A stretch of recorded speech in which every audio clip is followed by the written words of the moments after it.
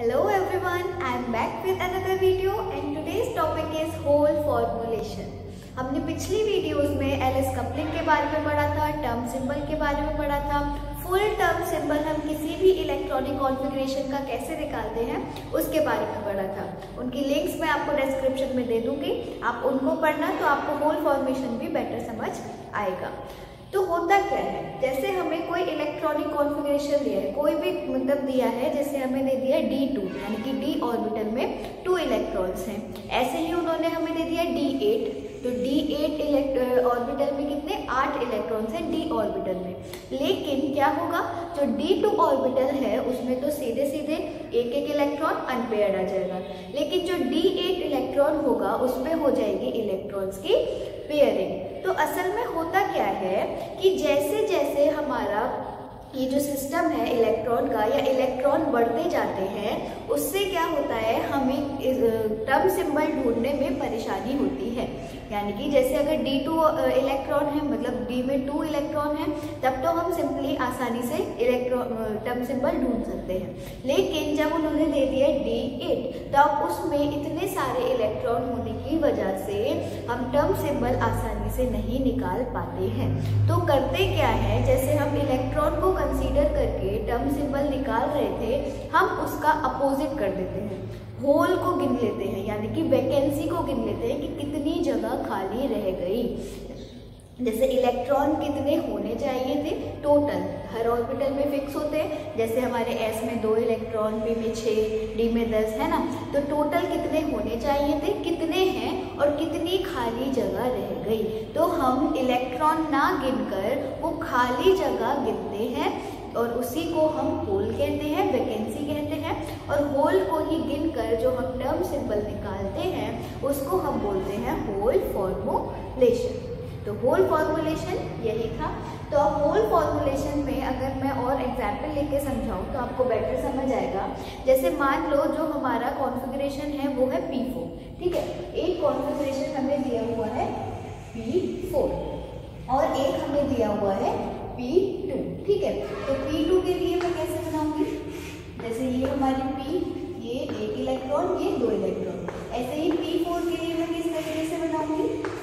एक दो, तीन और चार। ठीक है? तो अब होता क्या है? होल फॉर्मुलेशन के हिसाब से, देखो P2 में कितने इलेक्ट्रॉन है? दो इलेक्ट्रॉन दिख रहे हैं। अब इसमें P में मैक्सिमम कितने इलेक्ट्रॉन जा सकते हैं? छह इलेक्ट्रॉन जा सकते हैं। तो इसमें कितनी खाली जगह रह गई दो खाली जगह रह गई। तो इससे क्या होगा कि हम P2 का आसानी से टर्म सिंबल निकाल सकते हैं। तो P4 का और P2 का टर्म सिंबल आइडेंटिकल होगा। क्यों? क्योंकि इसमें हम होल्स देखे। हमने होल्स कितने देखे? दो होल्स हैं, ठीक है? होल्स से यहाँ सिंपल मतलब है कि P में मैक्सिमम मेरे शब्दों पर ध्यान देना, P में मैक्सिमम छः इलेक्ट्रॉन आ सकते हैं, लेकिन इसमें कितने हैं? चार। दो की जगह है, दो की वैकेंसी है तो कितने होल्स हो गए? दो होल्स हो गए। तो P2 और P4 का जो टर्म सिंबल होगा, वो क्या होगा? आइडेंटिकल होगा सेम होगा। अब यहाँ एक छोटा सा फ़र्क आता है। किसमें आता है? मतलब हम कह रहे हैं कि टर्म सिंबल आइडेंटिकल होगा सेम होगा। छोटा सा फ़र्क आता है जे की वैल्यू पर। जे जो हमने नया एंगुलर मोमेंटम निकाला था। पूरा जो हमारा टोटल एंगुलर मोमेंटम आया था, जिसे हम कैपिटल जे से दिखाते हैं, फ़र्क आता है उसकी वैल्यू में। अब टर्म सिंबल हम कैसे लिख रहे थे? टर्म सिंबल हमने एल यहाँ पर जे था और यहाँ पर टू एस प्लस वन था। अब ये एस तो सेम होंगे, है ना? इसमें दो इलेक्ट्रॉन्स को मान रहे हैं, इसमें हम दो होल्स को मान रहे हैं। ये भी सेम होगा एल भी सेम होगा, फ़र्क कहाँ आएगा? जे की वैल्यू में फ़र्क आएगा। हमने कल वाली वीडियो में पढ़ा था, जो हमने फुल टर्म सिंबल की वीडियो पढ़ी थी, उसमें हमने देखा था कि जो जे की वैल्यू होती है एल प्लस एस और जे बराबर एल माइनस एस ये किस हिसाब से होती है? जब हमारा इलेक्ट्रॉनिक कॉन्फ़िगरेशन यानी कि जो ऑर्बिटल है लास्ट वाली जिसमें इलेक्ट्रॉन पहुँचा होगा तो जब उस ऑर्बिटल में इलेक्ट्रॉन्स हाफ़ फ़ील्ड से ज़्यादा हों फॉर एग्ज़ाम्पल डी में कितने आते हैं? दस। हाफ़ फ़ील्ड कब होगी? जब होंगे पाँच। तो अगर पाँच इलेक्ट्रॉन से ज़्यादा इलेक्ट्रॉन्स हैं, तब हम जे की वैल्यू क्या लगाएँगे? एल प्लस एस और अगर इलेक्ट्रॉन्स हाफ़ फ़ील्ड से कम हैं, यानी कि पाँच से कम हुए तो क्या लगाएँगे जी की वैल्यू एल माइनस एस अब चाहे डी के लिए देखो पी के लिए देखो, किसी के लिए देखो। पी के लिए देखेंगे तो पी में टोटल कितने हो सकते हैं? छः इलेक्ट्रॉन तो हाफ़ फ़ील्ड कब होंगे? जब होंगे तीन इलेक्ट्रॉन तो अगर तीन से ज़्यादा इलेक्ट्रॉन्स है, तब हम जे की वैल्यू लगाएँगे एल प्लस एस और तीन से कम इलेक्ट्रॉन्स हैं, तब हम जे की वैल्यू लगाएँगे एल माइनस एस अब देखो अब जैसे ये P4 और P2 में हमें क्या पता चला? सबसे पहले हम निकालते हैं कैपिटल L क्या आएगा मैं आपको टर्म सिंबल निकाल के बता रही हूँ कि दोनों के आइडेंटिकल आएँगे और जे में किस हिसाब से फ़र्क आएगा। तो देखो, L अगर मैं निकालूँ तो ये plus one zero minus one ऐसे ही यहाँ पर प्लस वन ज़ीरो और माइनस वन ठीक है? तो अब होगा क्या? एल की वैल्यू कैसे निकलती है? जो भी हम इलेक्ट्रॉन कंसीडर कर रहे हैं, उसकी वैल्यू को प्लस करके निकलती है। तो प्लस वन और ज़ीरो प्लस वन और यहाँ पर भी इसकी एल की वैल्यू प्लस वन और ज़ीरो सॉरी माइनस वन और ज़ीरो माइनस वन मतलब प्लस मतलब वन ही रह जाएगी। जो पूरी ऐड होकर आएगी, वो वन ही रह जाएगी। तो एल की वैल्यू क्या आ रही है? वन आ रही है। अब L बराबर वन के लिए जो हमारा सिंबल होता है, हमने सिंबल असाइन किए हैं। हर L की वैल्यू के लिए कोई ना कोई हमने सिंबल बताया है। तो L की वैल्यू जब वन होती है तो सिंबल क्या होता है? P क्या सिंबल होता है? P कैपिटल P इसके बाद क्या करेंगे? स्पिन मल्टीप्लिसिटी निकालेंगे। वो कैसे निकलती है? टू एस प्लस वन से। अब उसमें एस क्या है? जितने भी इलेक्ट्रॉन हम देख रहे हैं उनकी जो जो स्पिन है उसे हम ऐड कर देते हैं। तो देखो यहाँ पर क्या है? प्लस हाफ़ प्लस हाफ़ ऐसे ही प्लस हाफ़ प्लस हाफ़ यानी कि हम प्लस हाफ़ प्लस हाफ़ निकाल देंगे। अब, अब, अब मतलब असल में होता क्या है? हम इसकी आसानी से निकाल सकते हैं है ना? इसी की मदद से हम कह रहे हैं कि P4 की भी सेम होगी। तो हम P2 को कंसिडर करके चलते हैं ठीक है? तो P2 के लिए हमारा जो एल आया वो आया वन यानी कि P मतलब सिंबल जो होगा, वो होगा पी इसी तरीके से हमारी जो स्पिन आई वो प्लस हाफ़ प्लस हाफ़ यानी कि वन तो एस बराबर कितना आया? वन एस बराबर आया वन ठीक है? अब एस बराबर वन आ गया तो इससे क्या निकलेगा? टू एस प्लस वन तो इसके, इससे हम क्या निकाल सकते हैं? टू एस प्लस वन तो two into one plus one two plus one equals three ठीक है? ये आई एस की वैल्यू ये आई एल की वैल्यू जो जो हमारा टर्म सिंबल होगा, वो क्या होगा? एल की जगह हम क्या रखेंगे? ये वाला सिंबल यानी कि पी ऊपर क्या रखेंगे? टू एस प्लस वन की वैल्यू यानी कि थ्री और जो नीचे रखेंगे, वो क्या होगा? जे बराबर एल प्लस एस या जे बराबर एल माइनस एस अब देखो, इससे बेहतर समझ आएगा कि जैसे हमारा P2 के लिए जो कॉन्फ़िगरेशन निकला, वो जो टर्म सिंबल निकला, वो क्या निकला? थ्री और P. अब हमें देखना है नीचे की वैल्यू मैं यही कहना चाह रही हूँ कि इन दोनों का जो सिंबल है, जो टर्म सिंबल है, वो सेम तो होगा, लेकिन फ़र्क कहाँ होगा? जे की वैल्यू पर मतलब यहाँ पर। जो ग्राउंड टर्म सिंबल होगा, बस उसमें फ़र्क होगा। तो देखो, इसके लिए जब मैं पी टू पी लगाऊँगी तो J की वैल्यू कितनी लगाऊँगी? L माइनस एस क्यू क्योंकि ये हाफ़ फ़ील्ड से कम है। मैं P2 की बात कर रही हूँ। P2 हाफ़ फ़ील्ड से कम है तो मैं J की वैल्यू क्या लगाऊँगी? L माइनस एस अब L कितना है? वन S कितना है? वन तो L माइनस एस बराबर ज़ीरो तो P2 के लिए क्या आएगा? तो ये वाली ग्राउंड टर्म आएगी। और जब मैं P4 के लिए देखूँगी तो क्या लगाऊँगी L प्लस एस क्यों? क्योंकि P4 जो है, वो हाफ़ फ़ील्ड से ज़्यादा इलेक्ट्रॉन है उसमें, तीन से ज़्यादा इलेक्ट्रॉन है तो मैं J की वैल्यू क्या लगाऊँगी? L प्लस एस तो L प्लस एस मतलब one plus one equals two तो जो P4 के लिए होगा, वो क्या हो जाएगा? थ्री और यहाँ पर टू तो केवल फ़र्क कहाँ पर आया? जे की वैल्यू में आया. तो हम ये कह सकते हैं कि होल फॉर्मुलेशन क्या होता है? होल फॉर्मुलेशन में ये होता है कि हम होल्स को कंसीडर करते हैं, यानी कि जो भी हमारी वैकेंसी है, उसको कंसीडर करते हैं। तो उससे क्या होता है? जैसे ये जो P2 है, ये जो P4 है, इन दोनों के जो टर्म सिंबल हैं, वो आइडेंटिकल होंगे।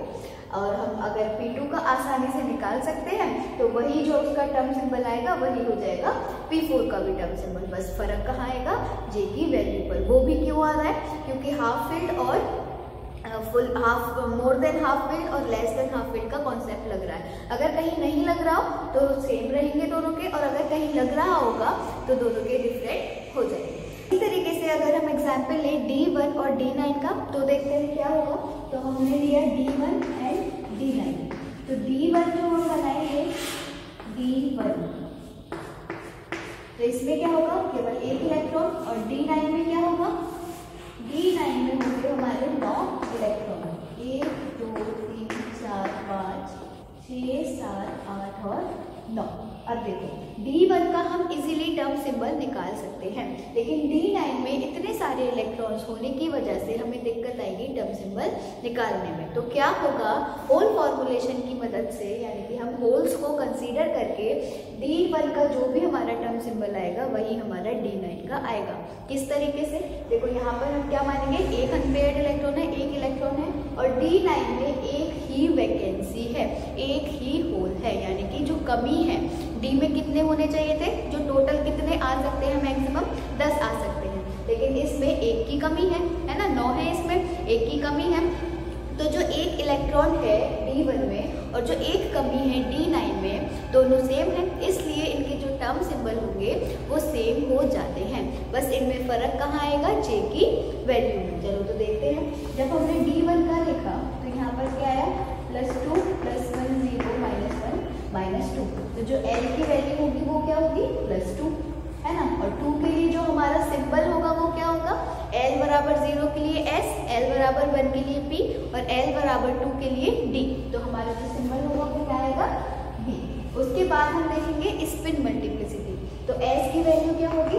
प्लस हाफ़ तो टू एस प्लस वन में जब मैं लगाऊँगी तो ये आया हाफ़ प्लस वन टू से two cancel one plus one equals two ठीक है? तो जो हमारा टर्म सिंबल बना वो क्या बना? डी डी पे ऊपर क्या होगा? टू एस प्लस वन यानी कि टू। तो ये तो आया इन दोनों का कॉमन टर्म सिंबल लेकिन जब मैं दोनों के ग्राउंड टर्म सिंबल की बात करूँगी तो कहाँ फ़र्क आएगा? जे की वैल्यू पर। किस तरीके से? जब हम डी1 देखेंगे तो ये हाफ़ फ़ील्ड से कम है। तो जे की वैल्यू क्या लगाऊँगी? एल माइनस एस तो L माइनस एस मतलब हमारा टू माइनस टू बराबर ज़ीरो तो जब मैं डी वन के लिए देखूँगी तो J की वैल्यू ज़ीरो आई और इसी तरीके से जब मैं डी नाइन के लिए देखूँगी तो जे की वैल्यू क्या लगेगी L प्लस एस यानी कि two plus two equals four तो हमारे डी नाइन के लिए जो J की वैल्यू आएगी, वो कितनी आएगी? फोर तो यहाँ पर फ़र्क हो जाएगा। यहाँ पर ज़ीरो आएगा डी वन के लिए और यहाँ पर फोर आएगा नाइन के लिए डी नाइन के लिए। ठीक है? अब ये तो बात हो गई कि जब हमारा पी टू पी फोर है डी वन डी नाइन इसके अलावा अगर मान लो कि जो हमारा कॉन्फ़िगरेशन है वो हाफ़ फ़ील्ड और फुल फ़ील्ड है तो अब उसमें क्या करेंगे? हाफ़ फ़ील्ड और फुल फ़ील्ड में क्या करेंगे? क्योंकि उसमें तो हम बोल रहे थे कि जे की वैल्यू में फ़र्क कब आता है? जब हाफ़ फ़ील्ड से कम हो या हाफ़ फ़ील्ड से ज़्यादा हो। अब जब हाफ़ फ़ील्ड और फुल फ़ील्ड ही हैं तो उसमें हम कंसीडर नहीं कर सकते। क्यों? क्योंकि फुल फ़ील्ड में वैकेंसीज होंगी ही नहीं। है ना? फुल फ़ील्ड में वैकेंसी होंगी नहीं वैकेंसी का ही तो मतलब होल है। तो होल भी नहीं होंगे। तो हम उसमें ये नहीं कह सकते कि इन दोनों का टर्म सिंबल सेम होगा। उसमें टर्म सिंबल अलग होगा। किस तरीके से? देखो, अगर हम मान लें डी फाइव और डी टेन का, ठीक है? तो डी फाइव के लिए जो कॉन्फ़िगरेशन होगा वो कितना होगा? एक दो ठीक है ऐसे ही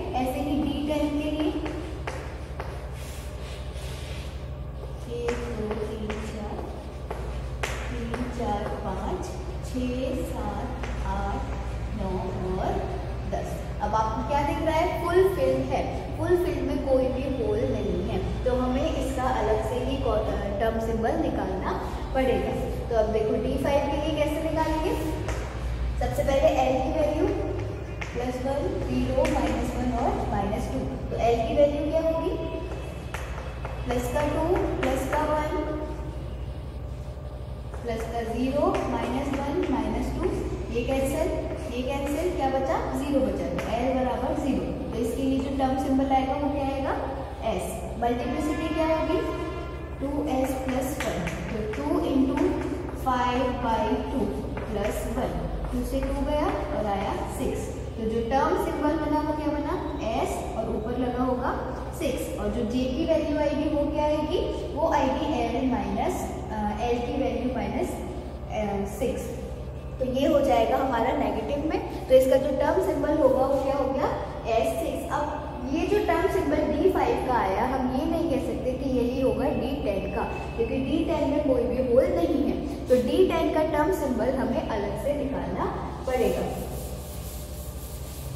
तो जो डी टेन का टर्म सिंबल होगा वो किस तरीके से निकलेगा देखो, इसकी वैल्यूज़ देखो plus one zero minus one minus two अब देखो, हर इलेक्ट्रॉन की देखनी होती है हमें। हमने हर इलेक्ट्रॉन की ऐड करी ना, इसमें क्या होगा? सारी वैल्यू सबकी हम ऐड करेंगे तो दो दो बार ऐड करेंगे। यानी कि इस इलेक्ट्रॉन की प्लस टू इस इलेक्ट्रॉन की प्लस टू ऐसे ही इसकी प्लस वन इसकी प्लस वन इस तरीके से हम सारी वैल्यूज़ प्लस कर लेंगे। मतलब जो भी हर, जो भी इलेक्ट्रॉन जितने भी इलेक्ट्रॉन है, हर इलेक्ट्रॉन की हमें वैल्यू प्लस करनी होती है। तो उससे क्या हुआ? जो हमारा एल था,